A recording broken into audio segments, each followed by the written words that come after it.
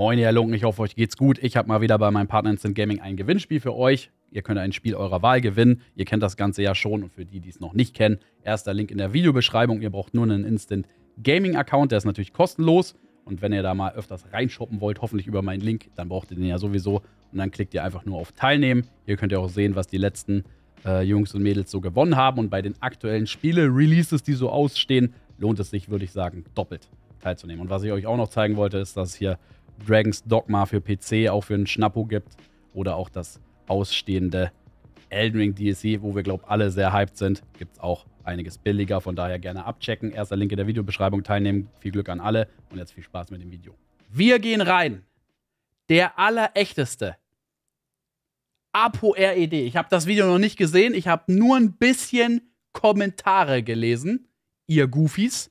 Legt kein Auge. Ich habe Future Money am Start. Alles nur Greenscreen. Wir gehen rein. Apo RED, der Allerechte. Attacke. So Freunde, ich habe eigentlich gar keinen Bock auf dieses Video, aber weil die ganzen Goofies da draußen mal wieder so viel Bullshit labern, bin ich verpflichtet, dieses Video zu droppen und ich bin ja extra mein Office wieder angesteppt an einem Sonntag. Der erste Punkt ist auch dieses Büro hier, Freunde. Das ist ja, es ist unglaublich, was so viele Leute gesagt haben, Streamer, Leute in den Kommentaren, die sagen einfach, ey, das ist hier Greenscreen. Natürlich, das Büro ist hier... Hätte man denken können, aber ich hatte gesehen, dass im Hintergrund halt, ne, ein Schiff geflogen ist, äh, ein Schiff geflogen, ein Schiff gefahren ist und der Schatten von ihm hat sich auf dem Hintergrund wieder gespiegelt. Deshalb unwahrscheinlicher Greenscreen. Büro sah sehr ähnlich, glaube ich, aus wie von irgendeinem so TikToker. Ne? Da haben sehr viele dann gesagt, hey, scheint nicht sein Büro zu sein. Kann natürlich sein, dass in dem Komplex die Büros alle copy-pasted aussehen, wenn die halt voreingerichtet sind. Kann ja auch sein, ne? Mal sehen. Greenscreen. Hier, Telefon Greenscreen, hier alles Greenscreen, Kaffee, alles Greenscreen und die Aussicht, alles Greenscreen. Digga, die Leute werden paranoid, was für Greenscreen. Das ist einfach mein Office in Marina, ganz normal. Ja, Red, was soll ich dir sagen? Die Leute werden paranoid. Weil, wenn du sagst, guten Morgen, hast du schon dreimal gelogen. Deshalb werden die Leute, wenn sie deine Videos schauen, paranoid. Ist da jetzt die Öffentlichkeit dran schuld oder du, mein Lieber? Dubai Marina könnt ihr mal googeln. Das ist einfach real, Mann. Wenn da jemand Bedenken hat, dann soll er mal gerne vorbeikommen. Einer von den Goofy-Streamern. Traut er sich aber nicht. Kann er wahrscheinlich mal Ticket leisten. Dann haben noch andere jetzt gesagt, bezüglich des Offices, ne? Ja, das gehört auf jeden Fall dem Ferrat, der Ferrat Dubai. Ja, das ist ein Kollege von mir, ein sehr guter Freund von mir. Ihr kleinen Klugscheißer. Ne? Also wenn ich schon so auf Klugscheißer macht, dann guck doch mal ordentlich. Der Ferrat, der wohnt in einer anderen Etage. Wir sind zwar im selben Gebäude, aber der ist auf einer anderen Etage. Und wenn man da genau guckt, das ist ja schon anders. Einrichtungstechnisch ist vieles gleich, aber es ist anders. Und das sieht man doch. Da denke ich mir so, Digga, sind die Leute irgendwie blind? Sind die Leute irgendwie hohl in der Birne? Das ist halt unglaublich. Nächster Punkt ist der Wagen. Und dann kommen wieder ein paar Unglaublich. Und sagen, hey, der Wagen hat hier so eine Plakette, das ist ein Mietauto. Denke ich mir, ey, du kleiner Go, erstmal miet mal eine G-Klasse Brabus. Miet mal hier in Dubai G-Klasse Brabus. Du ja, da streitet man sich auch, ob das ein Bravos ist, ne? Da waren sich die Leute auch eher uneinig. Also eher einig, dass es wahrscheinlich kein Bravos ist, aber ich kenne mich nicht aus mit Autos, von daher habe ich da gar nichts zugesagt. Als ich dumm und dämlich. Ich habe gesagt, ich habe den Wagen wie ein Adam in Bar bezahlt. 440.000 AED, Dirham. Das sind ungefähr 110.000, ne? 108, 109, irgendwie so. Und dann kommen wieder diese Rufis, ja, das ist ein Mietauto. Ja, Digga, wenn es ein Mietauto ist, auch krass, auch heftig. Selbst was ich mich immer frage, wenn er wirklich das Auto gezahlt, äh, gekauft hat, bar, auf Tash, auf Lok, auf Kock, auf Birkenstock, auf Schmiggi, die Schmacke, die schmockt, warum bezahlt er dann nicht die Leute aus, denen er in Deutschland Geld schuldet? Warum bezahlt er nicht Carinos, Carinas äh, Gerichtskosten 2K? Einfach so, schnipp, schnapp. Warum nicht? Ich verstehe es nicht. Da sind wir wieder bei dem Dilemma, ne, Chat, die unendliche Geschichte. Entweder labert er Scheiße Entweder labert er Scheiße oder er hat wirklich, also entweder labert er Scheiße, zahlt den Leuten das Geld nicht, deshalb ist er ja auch insolvent, oder er ist broke und labert auch Scheiße. Nee, er labert keine Scheiße und schuldet den Leuten Geld, aber bezahlt nicht. Oder, ach, der, egal wie man es dreht und wendet, er labert immer. Wenn es gemietet wäre, aber das sind mal wieder diese kleinen Ottos, die wieder gar keine Ahnung vom Leben haben, aber so richtig klugscheißern. In Dubai hat jeder diese magst du Red privat? Ich hatte große Sympathie gegenüber dem äh, Double- und Triple-Nuklear erspielenden Apo RED und auch den Fortnite-grindenden Red. Habe ich gemocht, aber diese Zeiten sind lange vorbei. Leider. Finde ich sehr schade. Plakette. Jedes Auto hat diese Plakette. Das ist ganz normal. Das brauchst du für die Maut, etc. Das hat nichts mit Mietwagen zu tun. Und selbst wenn es ein Mietwagen wäre, dann zahlst du 3.000, 4.000, 5.000 Euro für so einen Wagen. Das kannst du nicht mal nebenbei so kurz payen. Da ist doch viel schlauer, so einen Wagen zu kaufen, weil die auch ähm, vom Wert halt auch ganz gut sind. Das ist auch so ein Ding, ne? gerade wenn diese Streamer oder irgendwelche anderen möchtigen Schlaumer in den Kommentaren einfach mal keine Ahnung haben, einfach mal die Schnauze halten. Wirklich, oh. kennt euch egal. Ja, also dieses eine Video, wo er da von Finanzen geredet hat, das war auch alles ein bisschen, das haben ja ein paar Leute, die sich da auskennen, ein bisschen analysiert und das hat irgendwie auch alles nicht so Sinn gemacht. Vielleicht hätte er da auch eher die Klappe halten sollen, ne? Mit Finanztipps. Aus. Ihr seid da irgendwo in einem Kaff, ihr seht da eure vier Wände da, macht eure nicht mal 1000 Schritte am Tag, habt einen richtig depressiven Lifestyle, aber seid ihr besser, wisst, ihr, wisst über alles, wisst über Dubai, wisst über Afghanistan, wisst über Amerika, ihr wisst ja alles. Ne? Ihr habt gar keine Ahnung. Einfach Schnauze halten. Wirklich, besser ist es. Jetzt zum Thema das bare Cash. Geil, feier ich. Es wird mal zurückgeschossen, Chat. Es wird angegriffen. Auf den Tisch. 1,26 Millionen auf den Tisch habe ich mal raufgeknallt. Wie ein Adam. Und dann kommen diese kleinen Goofy-Kinder und sagen, ja, das ist Falschgeld. Digga, wie kann man es euch recht machen? Jetzt mal wirklich, da packe ich einmal mein bares Geld auf den Tisch, weil ich so smart war und nicht wie die ganzen Goofies da 10 Jahre Steuern ge gezahlt habe. Ich habe nur bis 2018 Steuern gezahlt, weil ich einfach ein Fuchs bin. Und habe da natürlich sehr viel Cash an der Seite. So, da zeige ich das in bar. Real Money, Future Shit USDs, okay? Ich dachte, das waren AEDs. Und, und ein paar und ein paar Dollars. Ich glaube, der Typ weiß selber nicht mehr, was er auf dem Tisch hatte. Aber auf jeden Fall keine echten Moneten. Wie kann man es euch recht machen? Bei euch ist alles Greenscreen, alles ist fake, der Wagen ist eine Animation, man kann es euch. Geil! Ja, weil man, weil man halt auch dem Typ wegen seiner kriminellen Energie auch zutrauen würde, dass er sogar den Geburtsname auf der Geburtsurkunde gefälscht hat. Der ist rausgekommen und hat direkt den Namen gefälscht, Digga. Den kannst du ja alles zutrauen. Ganz ehrlich, Chat, jetzt mal ernsthaft. Schreibt's mir in den Kommentaren, in die YouTube, äh, schreibt's mir im Chat, beziehungsweise in die YouTube-Kommentare. Wie sollte er hieb- und stichfest beweisen, dass er nicht broke ist? Kann er das jetzt überhaupt noch? Bro, dem traue ich sogar zu, dass er, äh, dass er hier von, vom Notar beglaubigte Dokumente fälscht, dass er so und so viele Immobilien besitzt. Dem, glaub, dem kannst du gar nichts mehr glauben.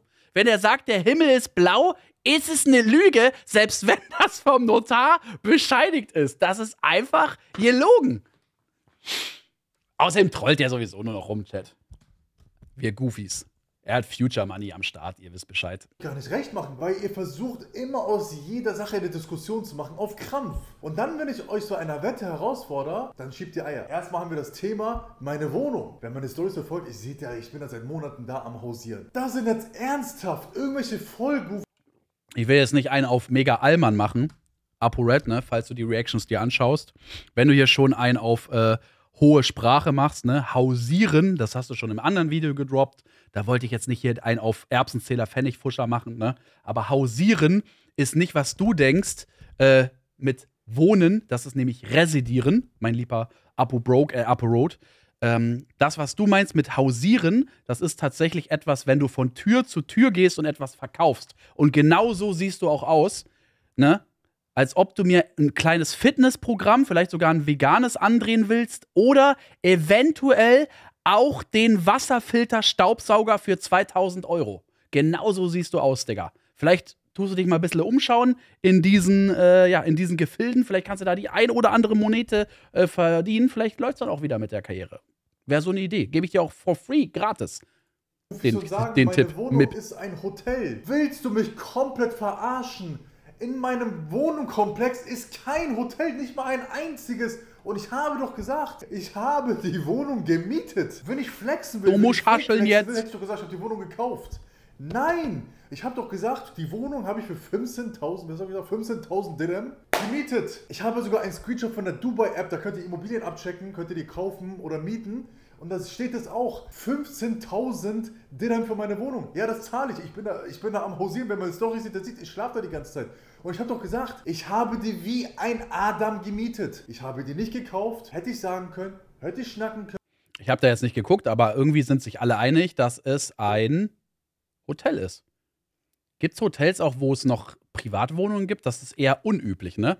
Entweder ist so ein Gebäudekomplex ein Hotel oder ein Privatgebäude, beziehungsweise ne, Privatwohnungen. Beides ist eher unüblich. können. Kann es aber geben. Habe ich aber nicht. Was machen die Leute und sagen, das ist ein Hotel? Wo macht das denn Sinn? Soll ich da jetzt die ganze Zeit äh, 300 Euro die Nacht für Hotel zahlen? Macht doch auch gar keinen Sinn. Warum aus jeder Sache wieder unnötige Diskussionen machen? Es ist einfach eine Wohnung, ganz normal. Warum jetzt so wieder dieser unnötige Rumgeschnacke? Man sieht doch offensichtlich, dass es kein Hotel ist. Das hat doch, das hat doch einen Schnitt. Hat doch einen Schnitt von einer ganz normalen Wohnung, von einer freshen, super knackigen Wohnung. Ich bin schockiert, aber es wird noch schlimmer. Es wird noch schlimmer, Freunde. Ich könnte jetzt auch auf so viele Punkte eingehen, auch von diesen Goofy-Streamern, aber ganz ehrlich, ihr wisst ja, ich mag ja kein Name-Dropping. Für mich sind das einfach so NPCs. Ich am Ende des Tages, ich lebe einfach den Lifestyle. Der hat sich das alles reingezogen. Ich hoffe, äh, schön mit äh, Ding, mit YouTube Red. Da hat die Werbung auch gekickt. Dann kommt doch mal noch Dubi. Dann holt euch mal so eine schicke Wohnung, wo ihr 15.000 Dirham zahlt. Dann mietet doch mal kurz eine G-Klasse 500 Euro am Tag. Ich gebe auch für einen Spaß. Ja, Red. Wir könnten wahrscheinlich das auch alles mieten. Vielleicht sogar fünf Autos am Tag. Vielleicht sogar zehn Wohnungen auf einmal.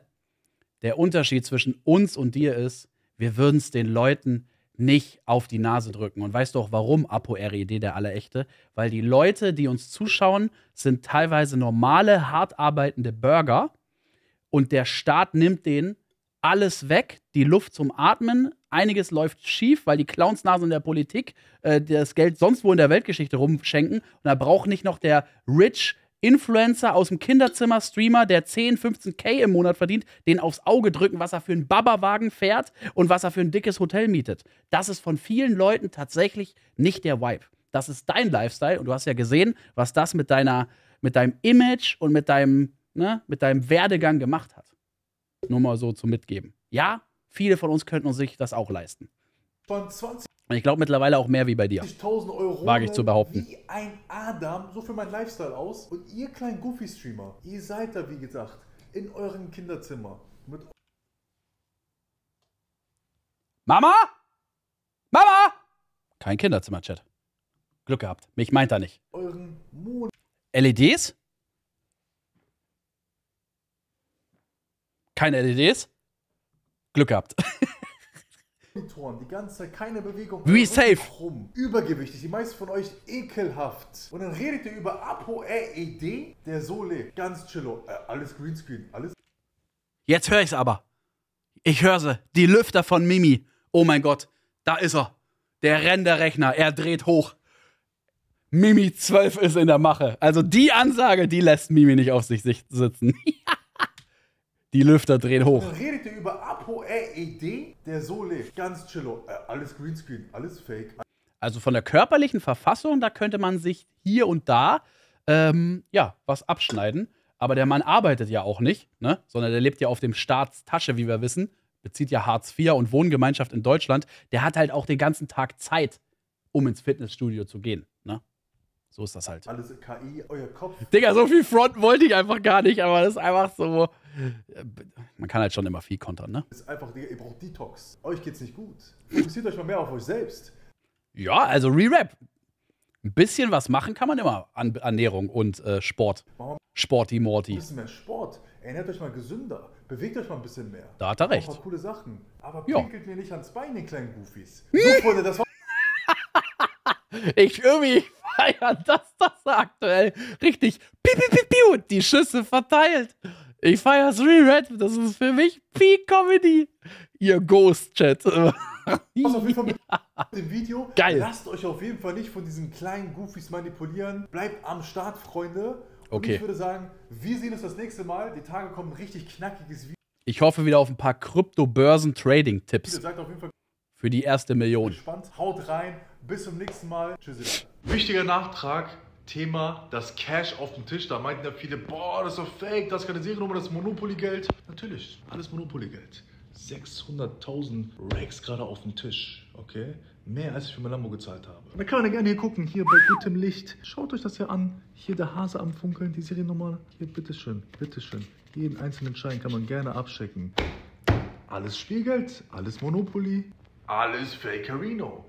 Ja, dir würde ich sogar zutrauen, ne, dass du da äh, irgendwie ein Immobilienverwalter bist oder irgendwie, ähm, es gibt doch so Leute, die passen auf Häuser bzw. Wohnungen auf, während die anderen Rich Guys gerade im Ausland sind.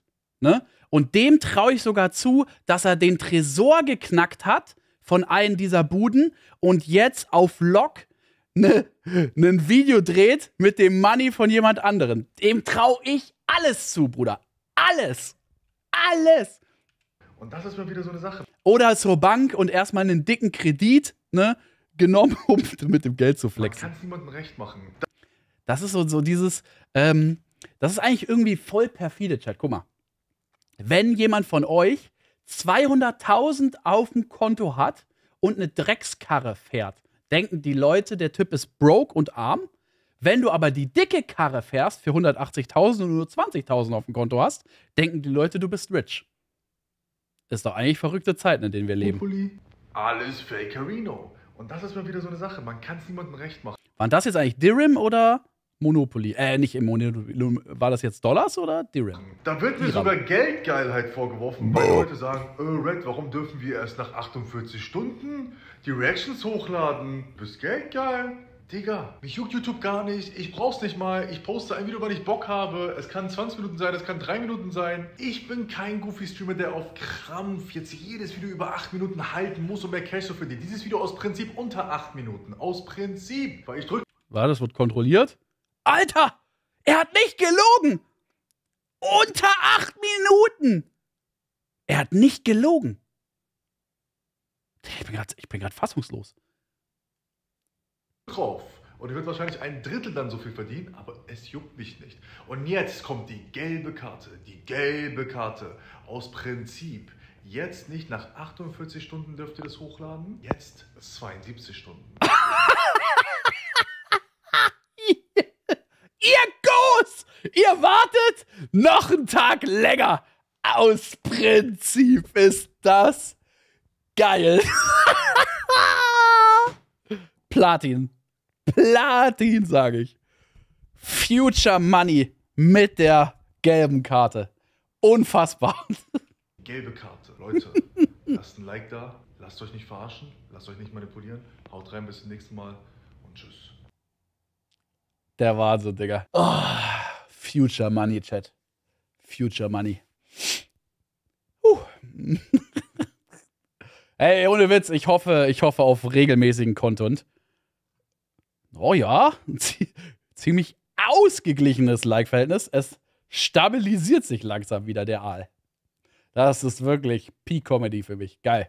Da freut sich der Cutter, da freut sich wieder YouTube. 72 Stunden Reaction-Sperre. Unfassbar. Geil ist es wirklich.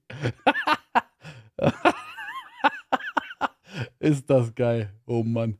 Warum ist dein Kaffee im Wasserkocher? Keine Ahnung, Digga. Einfach mal liken den Aal. Ah.